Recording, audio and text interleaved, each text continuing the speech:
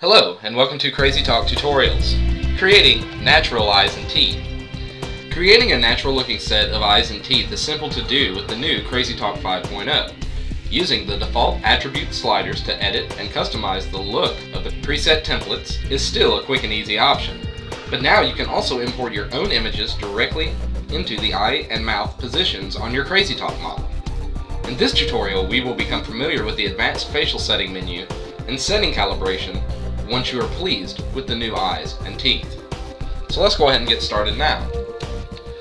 Open CrazyTalk 5.0 and then play the default script. Notice that the image retains its original eyes and has no teeth. Then, click the Advanced Facial Settings button to launch the menu screen. Once the menu is launched, then make sure the Eyes tab is selected and begin to adjust the eye settings. There are many different templates to choose from, and they all can be edited individually, from natural to very stylized, even animal, and cartoon. Select a natural blue eye, and then with the pupils bullet checked, move the saturation slider forward. Notice that the pupils are now a cool blue. Select the whites bullet and adjust the brightness to match the natural look of the image. Or click Keep Original Eyes to keep the original eyes from your image. You can see the difference very easily by clicking on and off. To edit the teeth templates, you need to select the Teeth tab and then choose a template. Adjust the scale of the template by using the dense sparse slider to widen the teeth and the short tall slider to lengthen them. You can also displace them as well. Then use the brightness slider to match the overall lighting and tone of the image for a more natural look and feel. Select OK to apply.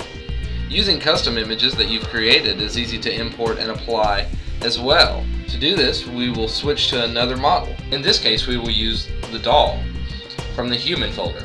Return to the Advanced Facial Settings menu, and then again select the Eye tab, or Teeth, depending on which feature you wish to edit, and locate the Import button.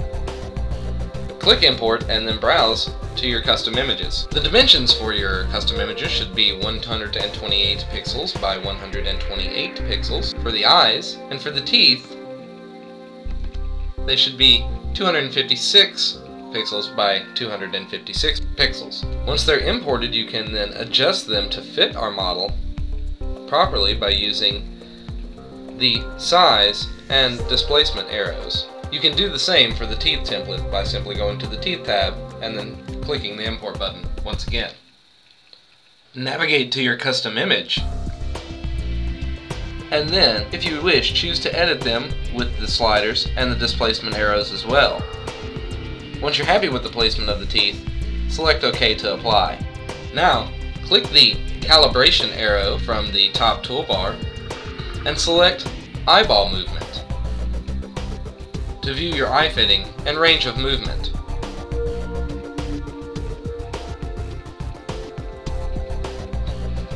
Then, again, click the calibration arrow from the top toolbar and select mouth shape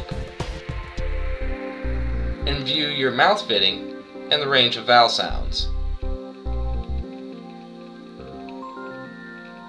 To show you the difference between our original image without eyes and teeth versus the difference between after natural eyes and teeth have been added to our avatar.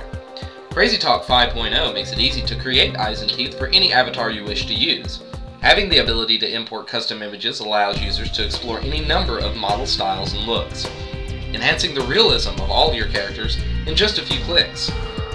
CrazyTalk 5.0's advanced facial settings makes the process simple and fun. If you have any further questions, please feel free to visit www.reallusion.com or contact technical support.